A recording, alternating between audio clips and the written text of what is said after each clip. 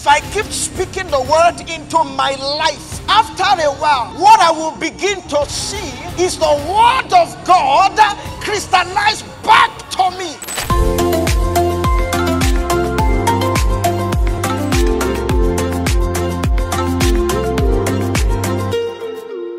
Let's look at that inner image of abundance today. Proverbs chapter 1, verse 32. It says, For the turning away of the simple shall slay them, and the prosperity of fools shall destroy them. Luke chapter 12 and verse 15. It says, Take it and beware of covetousness, for a man's life consisteth not in the abundance of the things which he possesseth. So a fool measures prosperity only in the light of things. There are seven dimensions to prosperity. And as you study the subject of prosperity, you realize that the lowest level of prosperity is actually material prosperity. Now, true prosperity is a full life. And by that we mean nothing missing, nothing broken, everything working. The physical prosperity that we're desirous of, God wants it to have an anchor. What's the anchor? A prosperous soul. Physical prosperity without soul prosperity is a race car without a steering wheel. You know what's going to happen? You will enjoy the speed at the expense of your life.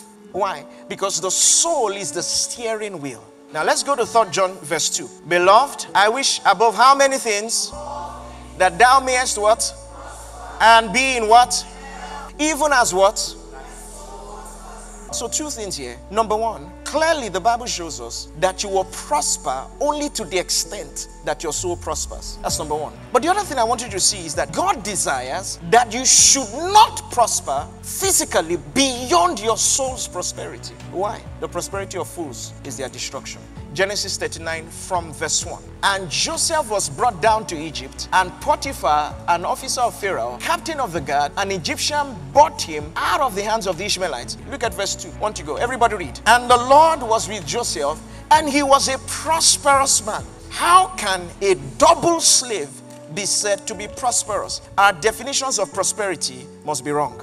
There must be something God sees and He says, This is prosperity. Long before there is material increase. When do people consider themselves prosperous? When they have a car, when they have a house. When was Joseph said to be prosperous? When he was a slave. So prosperity starts from within before it shows outside. And too many people have not had what we call that renewal of the mind. Romans chapter 12. Can we look at verse 2 together, please? Be not conformed to this what squeezed into the mold and shape of this world, but be you what? Transformed. How are our lives transformed?